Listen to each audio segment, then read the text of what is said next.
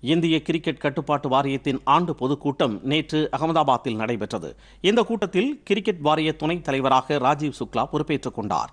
இரண்டாயிரத்து இருபத்தி இரண்டாம் ஆண்டு நடைபெறவுள்ள ஐபிஎல் கிரிக்கெட் தொடரில் மேலும் இரண்டு அணிகளைச் சேர்க்க இக்கூட்டத்தில் ஒப்புதல் அளிக்கப்பட்டது. அடுத்த ஆண்டு நடைபெறவுள்ள இருபது ஓவர் உலகக்கோப்பை கிரிக்கெட் மற்றும் இரண்டாயிரத்து இருபத்தி மூன்றாம் ஆண்டு உலகக்கோப்பை ஒருநாள் போட்டி ஆகியவற்றுக்கு வரி விலக்கு கோருவது குறித்து மத்திய அரசிடம் கோரிக்கை வைப்பது என்று கூட்டத்தில் முடிவு செய்யப்பட்டது. இந்த போட்டிகளை நடத்துவதற்கான விளையாட்டு அரங்குகளை தேர்வு செய்யுமாறு நிர்வாகிகளை கிரிக்கெட் கட்டுப்பாட்டு வாரியம் கேட்டுக்கொண்டது. இந்நிலையில் இந்திய கிரிக்கெட் அணிக்கு வீரர்களை தேர்வு செய்யும் குழுவின் தலைவராக முன்னாள் கிரிக்கெட் வீரர் சேத்தன் சர்மாவை கிரிக்கெட் கட்டுப்பாட்டு வாரியம் நியமித்துள்ளது.